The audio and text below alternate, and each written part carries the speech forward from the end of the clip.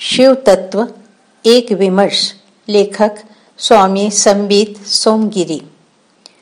शिव नाम सुनते ही मन में कर्पूर जैसे गौरवर्ण, देह में भस्म लगाए हुए, बाघांबर पहने हुए, सर्पों को आभूषण एवं यज्ञोपवित की तरह धारण किए हुए, जटाओं में चंद्रकला को एवं गंगा धारण किए हुए, हाथ में डमरू एवं त्रिशूल लिए हुए नीले कंठ एवं तीन नेत्र वाले दिव्य शरीर का अनायास ध्यान आ जाता है।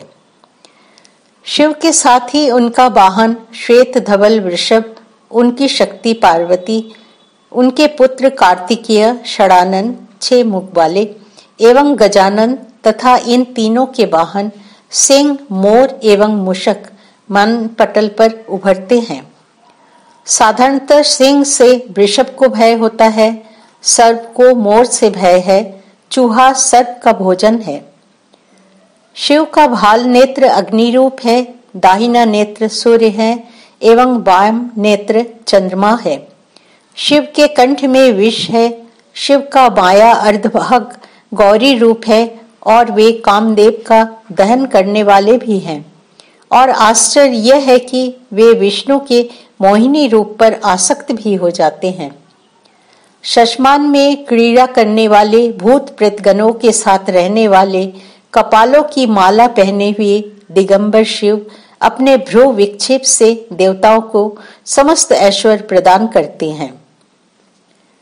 शिव के रूप में पहनावे में, चर्चा में, व्यवहार में, परिवार में अनेक विरोधी तत्व देखने में आते हैं और वे सभी तत्व एक समरस में रहते हैं। क्योंकि शिव स्वयं समरस मूर्ति हैं। वे अखंड अद्वैत स्वरूप होते हुए समस्त द्वैत को द्वितीय के चंद्र रूप में अपनी जटाओं में धारण किए रहते हैं। वे द्वंद्वातीत होकर सभी द्वंद्वों को अपनाते हैं। शिव की अनंत करुणा में सभी विरोध, सभी विषमताएँ आश्रय पाकर समरसता की ओर अग्रसर होती है।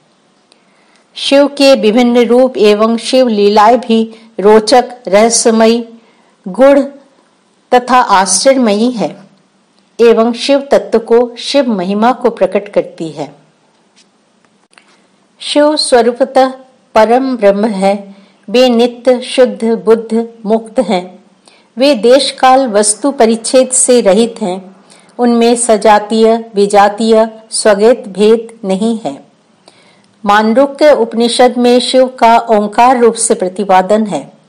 इस उपनिषद के सातवें मंत्र में कहा गया है, वह ओंकार न अंत प्रज्ञ है, न बहि प्रज्ञ है, न उभयतः प्रज्ञ है, न प्रज्ञान धन है, न प्रज्ञ है, न अप्रज्ञ है, वह अदृश्य, अदृष्ट है। अव्यवहार है अग्राह्य है, अलक्षण है, अचिंत्य है अव्यप्यपदेश है। एकात्म प्रत्यय सार है। प्रपंचोपम है। शांत है। शिव है।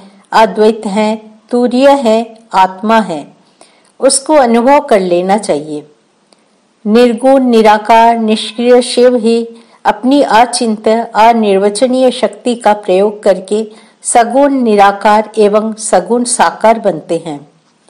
वे ही जीव जगत रूप से प्रतिभाषित होते हैं। अपनी शक्ति का प्रयोग करते हुए वे ईश्वर कहलाते हैं। वे जगत की सृष्टि, स्थिति, लय करते हुए क्रमशः ब्रह्मा, विष्णु एवं महेश कहे जाते हैं। इन तीन कृत्यों के अलावा उनके दो कृत्य और हैं। निग्रह करना, अर्थात जीव को अज्ञान अवस्था में बाँध कर रखना। अनुग्रह करना, अर्थात जीव को स्वरूप बोध मुक्ति की ओर ले जाना। ये दो कृत्य करते हुए वे क्रमशः ईश्वर एवं सदाशिव कहे जाते हैं। वेद में सृष्टि, स्थिति, लय, निग्रह, अनुग्रह, इन पंच कृत्यों को करने वाले शिव रूपों को क्रमशः सद्योजात, वामदेव, अघोर, तत्पुरुष और ईशान कहा गया है। जिस ज्ञान को लेकर शिव पंचकृत्य करते हैं, उनको वेद कहते हैं। वेद परमेश्वर का विवर्त है। वेद अनंत, अनादि, सनातन एवं अपौरुषेय है। शिव ने वेद को प्रकट किया और वेद ही शिव स्वरूप के निर्धारण में परम प्रमाण है। वेद में धर्म एवं ब्रह्म तत्व का प्रतिपादन है। जिस विधान को लेकर परम ब्रह्म शिव स्पंदित होते हैं, पंचकृत करते हैं, उसे धर्म कहते हैं। शिव का वाहन नंदीश्वर, वृषभ, धर्म है। धर्मो वृष। यह अखिल सृष्टि प्रकट होती है और अपनी अवधि पूर्ण होने पर महाप्रलय में लीन हो जाती है। सृष्टि और महाप्रलय का यह क्रम अनादिकाल से चला आ रहा है। महाप्रलय की स्थिति में उस शिव की त्रिगुणात्मिका शक्ति के तीनों गुण, सत्वगुण, रजोगुण, तमोगुण साम्य अवस्था में रहते हैं। महाप्रलय की अवधि पूर्ण होने पर जब वो परमेश्वर सृष्टि उन्मुख होता है तो त्रिगुणों में विक्षोभ उत्पन्न होता है। तब विशुद्ध सत्व गुण वाली प्रकृति से युक्त ईश्वर चैतन्य एवं मलिन सत्व गुण वाली प्रकृति से युक्त प्राज्ञ नामक असंख्य जीव प्रकट होते हैं। तमोगुण प्रधान प्रकृति से पंच तन्मात्राएँ, शब्द तन्मात्रा, स्पर्श तन्मात्रा, रूप तन्मात्रा, रस तन्मात्रा, गंध तन्मात्रा प्रकट होती है। इन तन्मात्राओं अर्थात सूक्ष्म पंच महाभूतों से तपे हुए स्वर्ण के समान दे दीप्यमान अंडाकार सूक्ष्म ब्रह्मांड की उत्पत्ति होती है। इस सूक्ष्म ब्रह्मांड में ही असंख्य जीवों की अव्यक्त वासनाओं से युक्त हिरण्यगर्भ अर्थात ब्रह्मा की एक साथ ही विद्युत प्रभा की तरह अभिव्यक्ति होती है। इसी को मनुस्मृति में बताया गया है। तदंडम भवद हैमम सहस्रांशु समप्रभम तस्मीन यज्ञे स्वयं ब्रह्मा सर्वलोक पितामह वे परम ब्रह्म ही उपासकों पर कृपा करने के लिए ब्रह्मा, विष्णु, महेश, सरस्वती, लक्ष्मी, दुर्गा आदि सगन रूपों में अपने आप को प्रकट करते हैं एवं नाना प्रकार की लीलाएँ भी करते हैं। लयकर्ता महेश की पूजा, त्रिनेत्रधारी चंद्रशेखर, जटाजोटधारी गंगाधर कपाल माला नागभूषण, त्रिशूल, डमरूधर के रूप में की जाती है। ये ही नटराज, मृत्युंजय, अर्धनारीश्वर आदि रूपों में पूजित हैं। किंतु लिंगाकृति रूप में की गई इनकी पूजा को श्रेष्ठ कहा गया है। लिंग के आधार को जलहरी कहा जाता है। यह ब्रह्म शक्ति का प्रतीक है। कहीं कहीं मंदिरों में इस शक्ति पीठ के नीचे विष्णु पीठ एवं उसके नीचे ब्रह्म पीठ की स्थापना की जाती है। भगवान का वाहन नंदी है और वो धर्म का प्रतीक है। भगवती सती दक्ष कन्या के पति रूप से शिव ने दक्ष यज्ञ, ध्वंस की, लीला की एवं पार्वती पति रूप में शिव, गणेश एवं कार्तिकेय के जनक बने एवं विविध लीलाएँ की। आज भी उपासकों के समक्ष प्रभु की लीलाएँ प्रकट होती हैं। वो परम ब्रह्म शिव ही जीव बना है एवं वही जगत बना है। अतः शिव आत्मा रूप से भी उपास्य है। उस शिव की अभिव्यक्ति अष्ट मूर्तियों के रूप में हुई। यथा पृथ्वी, जल, अग्नि, वायु, आकाश, सूर्य, चंद्रमा एवं आत्मा।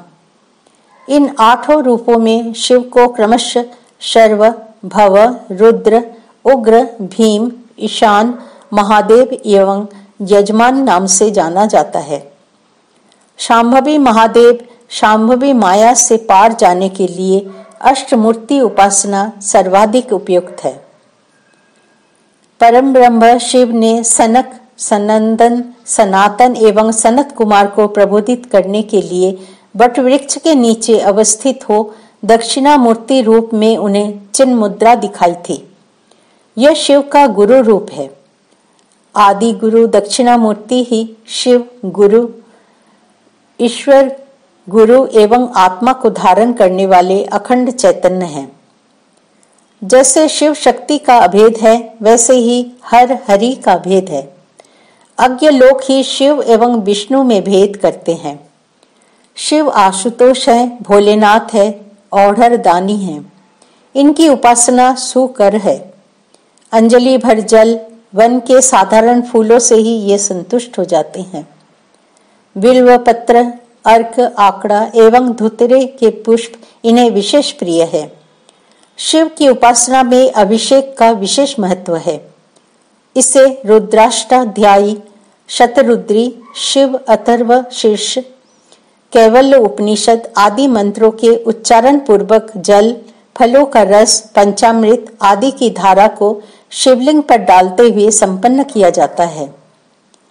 प्रत्येक उपास्य देवता के संबंध में गीता, हृदय कवच सहस्र नाम और स्त्रोत्र ये पाँच प्रकार का साहित्य है। कवच देवता का शरीर, गीता, शिरोभाग, हृदय देवता का हृदय सहस्र नाम मुख एवं विविध स्त्रोत्र देवता के चरण माने जाते हैं। इन पंचांगों को अपनाने से उपासना तेजस्वी हो जाती है। मंत्र जप एवं ध्यान भी उपासना की पूर्णता के लिए आवश्यक है। विधिवत की गई उपासना सद्य फलदायिनी होती है। निष्काम भाव से की गई उपासना से उपासक कैवल्य मुक्ति पाने का अधिकारी बन जाता है। हर हर महादेव।